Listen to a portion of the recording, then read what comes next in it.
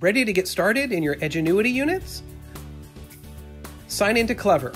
Then, log in with Google using your SMCPS login information. All applications for your classroom use are available. Scroll and select the Edgenuity icon. You will see the courses in your daily schedule. Click a course and watch the video overview.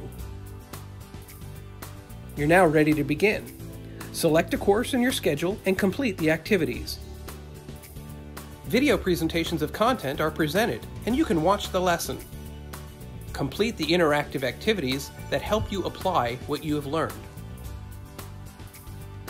Keep learning, stay connected.